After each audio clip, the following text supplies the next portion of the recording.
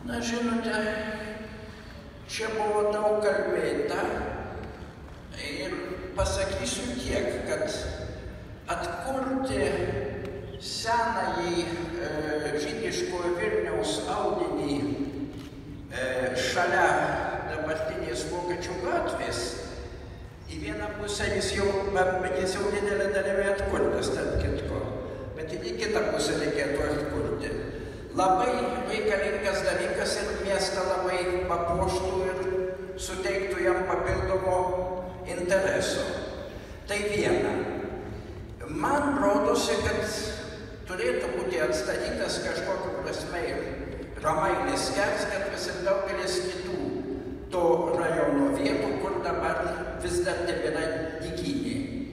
Ir kurį reikia pasakyti vis dėlto sovietinis vokiečių gatvės užstatymas labai pagadino.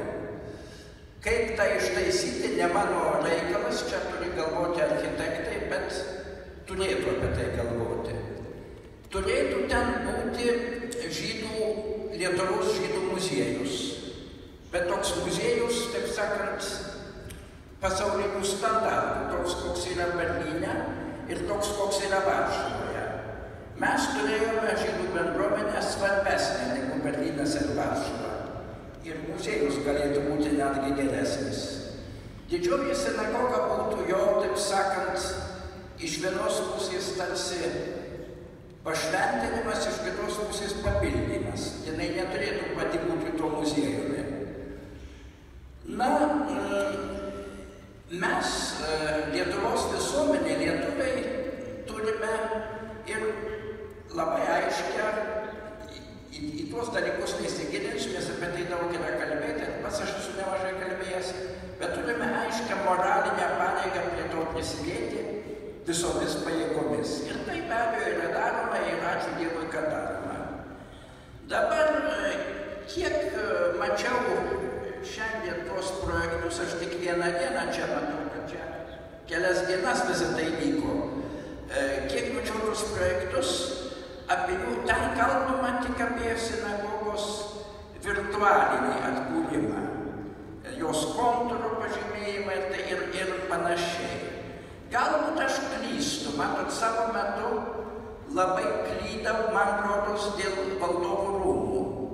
Buvau prieš ir pasinešinėjau įvairias peticijas, kad jie nebūtų atstatomi, nes tai nebūtų autentiška. Na, bet žinote, paskui prisiminiau, ką pasakė Hemingvėjus, kada jam parodė Karkasono įtvirtinimus. Jis pasakė, oho. Jam tada buvo pasakyta, bet ar jūs žinote, kad tai XIX amžiaus falsifikatas, kad čia viską pastatė Violeniniukas ir tai neturi beveik nieko bendro su tikrais viduramžių įtvirtinimais. Į tai, Mekas pasakė, suot, na ir kas. Ir aš irgi dabar, kai matau valdovų rūmus, sakau, nu neautentiška, bet ir kas. Už tai mes ten turime erdvę e, pasaulinių standartų parodoms, kurios ir šiandien ten vyksta. Niekada Vilniuje tokios erdvės nebuvo ir nebus. Ir tik, tiksliau pasakius, nebuvo, bet yra. Na, o didžioji sinagoga turi dar papildomų konotacijų, labai svarbių, kurių valdovų rūmai net ir neturi. Bet atvirai pasakysiu, man truputį būtų liūdna, vėl galbūt klystu, jeigu tai būtų tik virtualus atkūrimas. Man norėtųsi atkurti, man norėtųsi pastovėti po tikrais sinagogos kliautais, pamatyti tikrus sinagogos piliorius, kolonas, pamatyti tas medinės kolonėlės fasade, kokios jos buvo. Aš ne visai žinau, kiek tai atitiktų judaizmo tradiciją.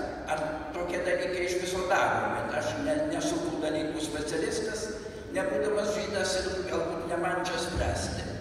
Bet man norėtųsi, kad būtų daugiau to architektūrinio momento, kad vėl pasijusti, kiek žinau, architekto Glaubico kūrinyje.